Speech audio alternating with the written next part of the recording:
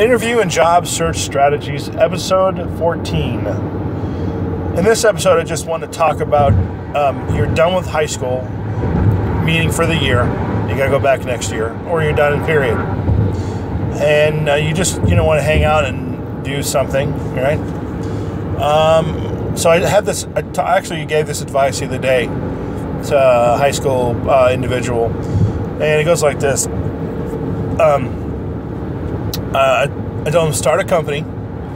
Um, you know, have a have a company, start it out, figure out the name, go to you know a Google in your state, uh, how much it costs to register your license. Usually it's about fifty bucks. You know, LLC. Go to the PO box that in your in your city. Rent out a PO box about hundred dollars a year.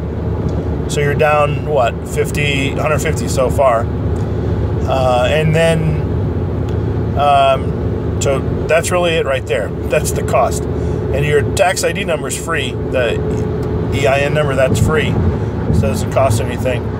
And then uh, go to your local Chamber of Commerce and ask them if you can sell t shirts at the homecoming, the local homecoming, the local parade. And, you know, based on whatever they tell you, let's say they'd say, yeah, go ahead, go for it, no problem. You um, you get a booth, meaning you just rent like this booth. Uh, you can get a table from Home Depot or somewhere like that, and get a uh, make your own like banner basically of your company, company logo. That's if you make it by hand, it's not going to cost you much money. So yeah. Anyway, uh, and then uh, get some t-shirts. You know some uh, i think hobby lobby has t-shirts for sale. Uh, you know or just buy them online wholesale. Cheap cheaper as you can do them right? And get them different colors too. Four or five colors different sizes. And then um, and what you do is you you have logos. So you make logos yourself.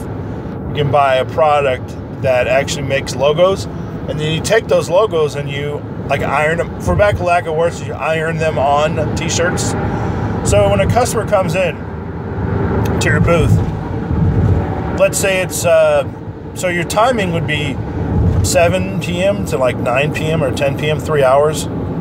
So in three hours time if it takes you what five minutes per shirt to make your mat and you only have one like press or one um, one you know one press thing to actually put the logo on your shirt. You're only looking at what 20 so five minutes times 20 what is that 12 so 12 shirts an hour is what you can maximally make right?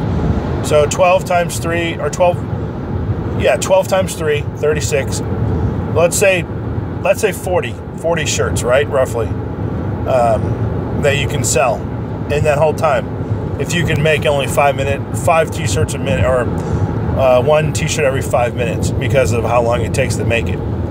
So you know that. Okay, that's your that's your stock. That's your 40 40 shirts done. So now what are you going to charge them? Uh, you know, uh, you, you're again you're selling like a sizzle.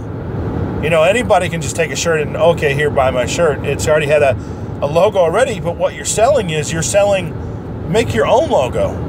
You know? Oh, that's so cool. And the shirts hopefully they're cool. They're nice. You know, it's got to be a shirt that somebody really not likes, the quality. But make your own logo on, you know, and have it have it to where they can make it on on the side as well. Have you seen these shirts where they the logo or the the design will wrap around to the back? Uh, perhaps enable it that way. If you're if you're if your machine that presses the logo on can do that, uh, that'd be something you know, you're letting the customer choose what they want. You know, um, what shirt do they want, what logo they want, and while they're there, uh, while they're there, have a, another product. For instance, you might have a uh, maybe you started a blog or something like that, or you have a YouTube channel, or you have a business card. Give them your business card. Um, there, I know that most people just throw them away. Um, so maybe have it to where um, you know have a, a, a, a kiosk or a something like something that says like uh, uh, if they opt in, they'll you send them like twenty percent off the next the next T-shirt order, something like that. You know, in bulk order or just 20 percent off the next T-shirt. You know, when they order it online or they order it that way. Um, so that was that was basically essentially the uh, the uh, advice that I was I was giving out. So um, it seems to work. So uh, hopefully uh, uh, you guys uh, got value out it out, out of it. And thanks a lot for viewing the podcast. Have a great day.